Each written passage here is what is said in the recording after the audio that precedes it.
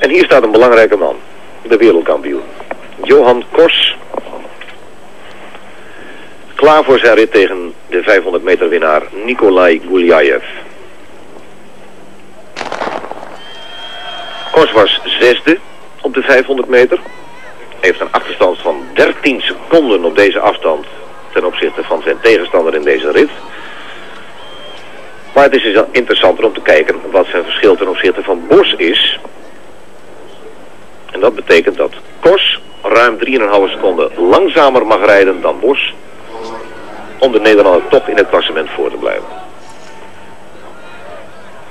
Openingen 1942 en 1947.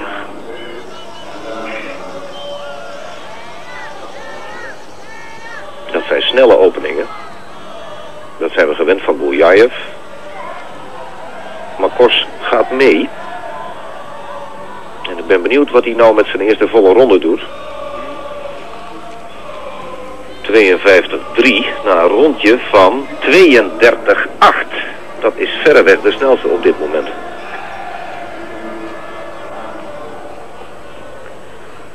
Kost hij voor dit toernooi wat twijfelde over hoe hij ervoor stond. De ene dag ging het lekker, de andere dag ging het helemaal niet. Was niet echt zeker van zichzelf.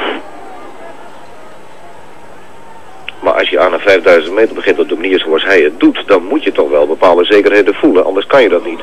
1.25.3, dan is hij precies twee seconden nu al sneller dan Thomas Bos. Met een rondje van 32.9.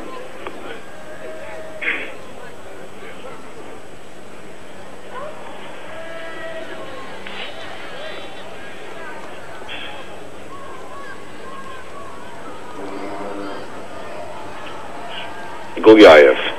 Nu al op achterstand. Dat zal waarschijnlijk alleen maar groeien, die achterstand. De 1400 meter voor Bos. 1.58.1. Bijna 3 seconden nu sneller dan Bos. Rondetijd weer 32.8.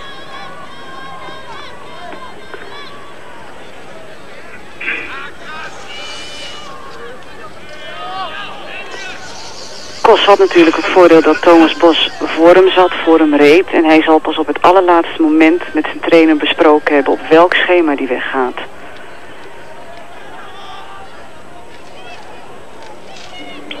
...1800 meter tijd. 2.30.7. Nog altijd gaat Kos heel, heel goed. 32.5 nu waarachtig voor de ronde. Dat betekent dat hij per ronde meer dan een seconde winst boekt op Thomas Bos.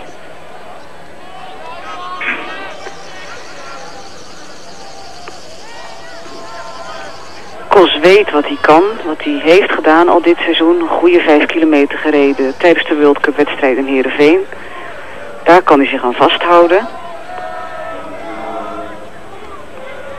En een tussentijd van 3-3-35 met een rondje van 32-6. Ook dit is een uitermate regelmatige rit. Met het verschil ten opzichte van Bos dat hij rondjes 32 voortdurend rijdt en Bos rondjes van 33 noteerde. Inmiddels is Kors 5 seconden sneller dan de tijd van Thomas Bos. En vraag is eigenlijk alleen maar, houdt hij dit vol? 3.36.2. En een rondje van 32.8. Weer een 32er.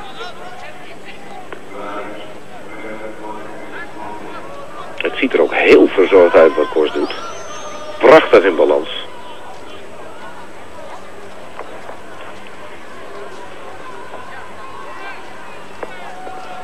De stijl van de wereldkampioen.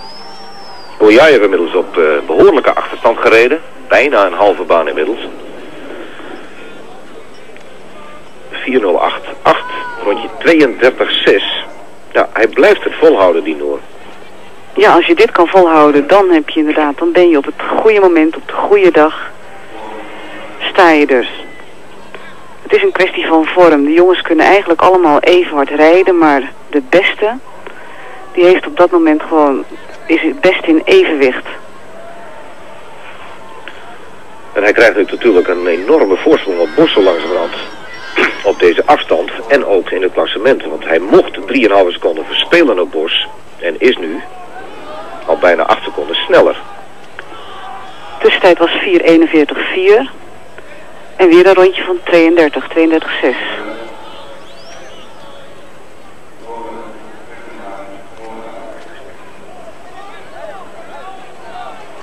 Dat moet goed aanvoelen als je zo kan schaatsen op een Europees kampioenschap. Dan krijg je er dus echt lol in. 5, 14, 2 is de 3800 meter tijd. Weer een 32, 8. En dan moet het dus wel zo zijn geweest dat datgene wat Johan Kors vorige week in Davos liet zien... meer te maken had met verstoppertje spelen dan met zich werkelijk te laten zien. Want in een week tijd kun je zo niet veranderen.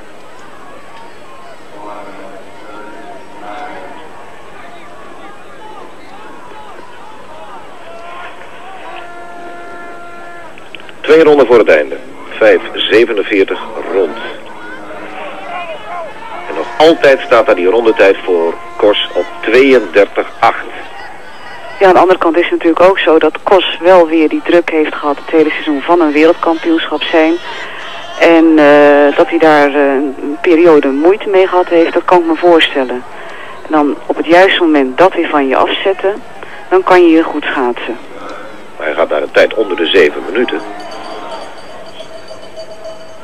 6, 14, 4 was de tijd van Guljayev. 6, 18 noteren we voor Kors. Die daarmee een ongelofelijke voorsprong opbouwt ten opzichte van Thomas Boers die in deze fase rondjes van 34 reed. En nu moet toekijken dat Kors al 13 seconden sneller is dan hij. En de Noor is bezig aan zijn laatste ronde en toont geen enkel teken van verzwakking. En kijk eens even naar Guljayev, die wordt bijna ingehaald. Hetzelfde gebeurt met die Russen wat zich vorig jaar afspeelde in Heerenveen. Ze gaan volledig weg. En kijk eens even naar die fantastische 6.52.08. Het nieuwe baanrecord van Thomas Bos heeft precies één rondje kunnen staan. 6.53.28 wordt de tijd nu gecorrigeerd. Het blijft een toptijd. Een verschrikkelijk goede tijd. Johan Olaf Kors geeft hier zijn visitekaartje niet alleen af, maar stelt zeer nadrukkelijk zijn kandidatuur. Totaal in punten 80.758. En ook daarmee is Kors voorlopig verreweg de beste. Kapot gereden Guljayev komt hier in een hele slappe 7, 29-42 over de streep. En opnieuw is de teleurstelling voor de Russen groot. Hij wint dan wel de 500 meter, die Guljayev. Maar op de 5 kilometer komt hij er absoluut niet aan te pas. Johan Kors, de grote man tot nu toe. En Ben van den Burg die natuurlijk, die zo meteen in een volgende rit komt, heeft natuurlijk naar deze man staan kijken.